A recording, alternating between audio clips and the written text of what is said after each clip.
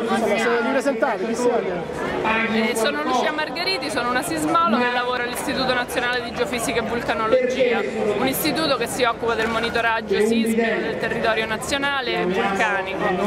Noi con questa manovra rischiamo di mandare a casa circa 200 precari che lavorano nel nostro istituto da anni, che sono stati inseriti nelle liste di stabilizzazione ma non, sono, non, sono, non si è potuto stabilizzarli perché non abbiamo abbastanza pianta organica per stabilizzarli e quindi questo taglio del 50% che è, previsto dalla manovra per i fondi per pagare i precari ci, ci costerà gran parte del nostro personale che contribuisce attivamente a, al monitoraggio del territorio nazionale. Questa diciamo, è la conseguenza per noi più grave. Poi restano tutte le altre come il blocco delle carriere che chiaramente per un ente di ricerca è molto importante avere lo stimolo per i ricercatori per, per poter progredire. Anche lo stesso blocco delle missioni all'estero, siamo stati accomunati in questa manovra agli enti diciamo, pubblici in generale, quindi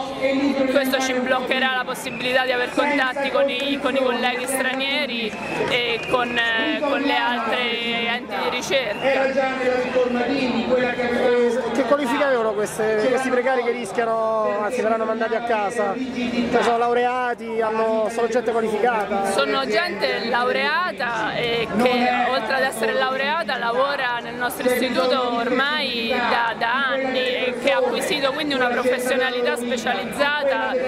Tra l'altro il nostro istituto è stato citato dallo Science Watch come uno degli istituti che hanno pubblicato più articoli sia nel campo vulcanologico che nel campo del, del sismologia in questi anni, quindi diciamo chiaramente sono delle professionalità che non è che ritroveremo con un nuovo precariato magari di neolaureati, sono persone che dopo aver speso anni e anni nella formazione, anni e anni che tra l'altro abbiamo pagato noi come Stato, eh, rischiamo di perderli.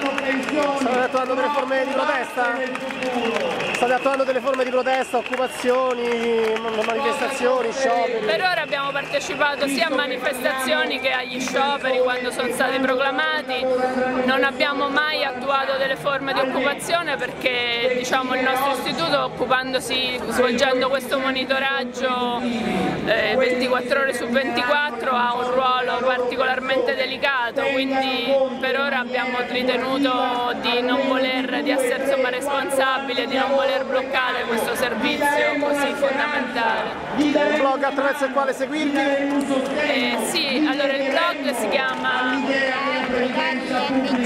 Precari NGV, tutto attaccato. Grazie.